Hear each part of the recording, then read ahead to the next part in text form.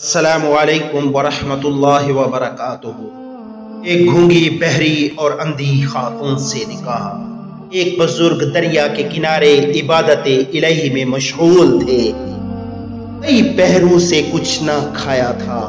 भूख की शिद्दत की ताप ना लाकर उठे और दरिया के किनारे किनारे चलते रहे।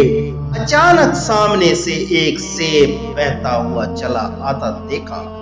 हज़रत रहमत ने भूख के आलम में वो खा लिया।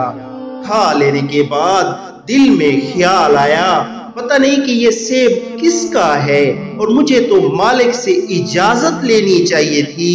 ये सोचकर वो दरिया के किनारे किनारे आगे चलते गए। अभी कुछ दूर गए ही थे कि सेबों का एक बाग नज़र आया। ख्याल हुआ कि सेब यहाँ से गिरा होगा। चुनाचे ये जवान बुज़ुर्ग बाग के अंदर चले गए और मालिक के बाग से माफ़ी चाही, क्योंकि मालिक के बाग भी बहुत बड़े अल्लाह वाले थे। इसलिए समझ गए कि आमदा जवान नेक आदमी होगा। मालिक बाग ने कहा कि अगर तुम मेरी बेटी से शादी करोगे तो इजाज़त दूँगा, वरना नहीं।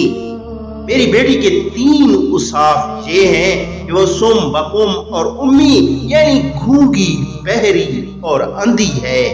जवान दिल में सोचता है कि मैं खूबसूरत जवान आदमी हूँ। अच्छी से अच्छी लड़की मिल जाएगी, दुनिया बन जाएगी, लेकिन आखरत बिगड़ जाएगी। अगर इस किसी लड़की से शादी कर लूँ तो दुनिया बर्बाद हो जाएगी, लेकिन आखरत बन जाएगी। कुरान का ऐलान है, वल आखिरत खैर अब का ये सोचकर जवान बुज़ुर्ग सैयद अबू साले ने शादी की ख्वाहिश जहर कर दी, चुनाचे निकाह हो गया।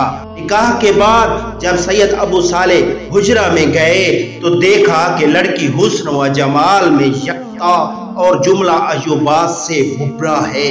खुशी इसलिए हुई कि दुनिया और आखरत दोनों बन गई। और परेशानी इसलिए थी कि सुसर ने झूठ बोला।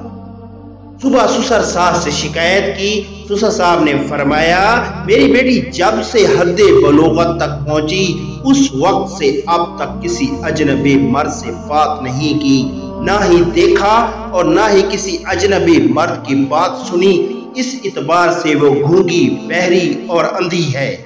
जहरी मफहूम मुराद नहीं। ये मालिक बाग सैयद अब्दुल्ला असमा रहमत थे, उन्हीं दो पकीज़ा हस्तियों के यहाँ महबूब रबानी कुतब सुबहानी कौसुल साकेलेन शेख अब्दुल कादिर जिलानी रहमत की विलादत हुई। बाज मरखीन ने यह वाक़ इमाम आज़म अबू हनीफा रहमत के वलदैन का करार दिया है, जबकि दीगर बास मरखीन ने उसकी नस्बत इमाम बुखारी रहमत के वलदैन की तरफ़ की है। मजीद वीडियोज़ के लिए हमारे चैनल को सब्सक्राइब करें। शुक्रिया।